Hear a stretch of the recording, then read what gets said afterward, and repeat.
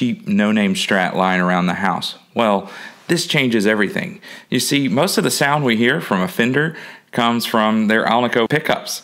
And most of the cheap no-name strats come with these ceramic pickups. You can tell if you take the pick guard off and it's got a big bar across it, that's ceramic. Now, the difference, if you listen to the intro again really closely, it's hard to hear if you've got good gear. If you're running it through a good amp, uh, then it's hard to hear on some settings, but it becomes very clear if if you turn up the gain it becomes easy to tell a difference. These just don't seem to hold their definition. They don't play well with others.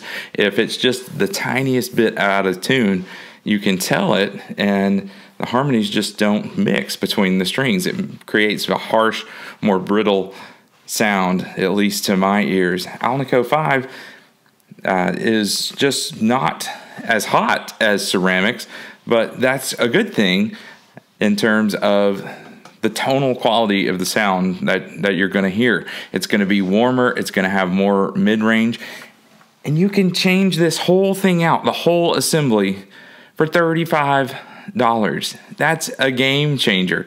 So I want to put this to the test uh, on Amazon. I've done this twice now uh, with a couple different brands uh, or a no name brand. I'll put links to the ones that I've purchased below so that you can check them out and and see these Chinese manufacturers I don't know how they make any money but they'll give you this whole assembly for $35 and if you want some versatility uh, you can get the HSS with which has the humbucker down here so you can really crank on those solos and Alnico 5. It's it's incredible. So this is one that I took off a of Peavey Predator, and uh, it had black wires. So if you've never done this before, it's a little confusing. You need a soldering iron.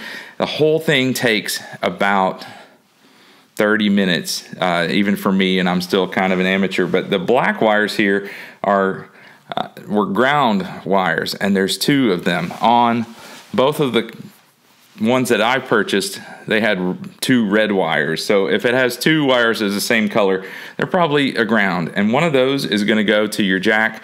One of them is going to go uh, somewhere else on your uh, tremolo, some piece of metal it's going to connect to.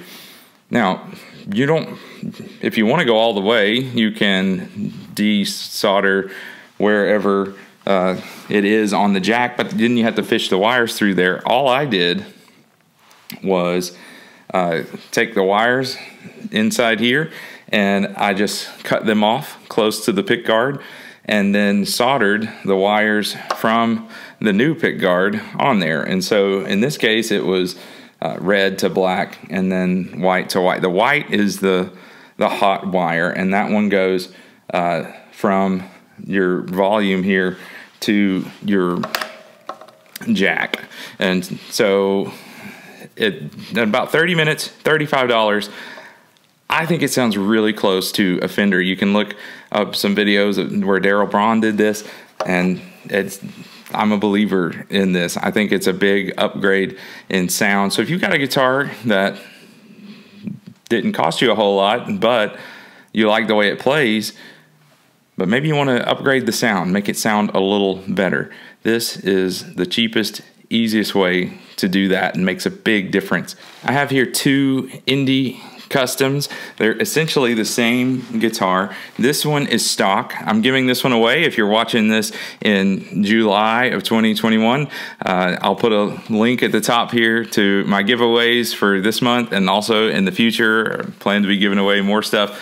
But this is stock. So this has the ceramic in it. This one I've upgraded with a vintage white uh, kind of off-white Alnico 5. So I'll put links to these in the description if you want to uh, if you want to purchase this same loaded pick guard that I have. Let's listen to some tones and check this out.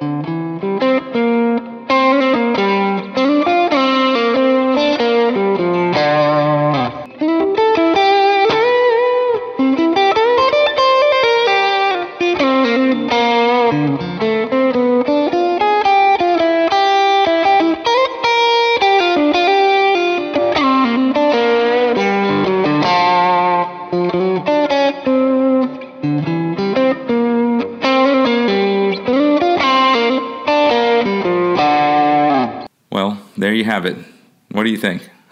Is that $35 upgrade is it worth it? Can you tell a difference in the sonic quality between these two guitars? They're essentially the same, but this one has the Alnico 5 magnets in the pickups. Did it make a difference? Was it worth it? Is it something that you'd like to try? Leave me a comment. Let me know. Have fun. Keep playing.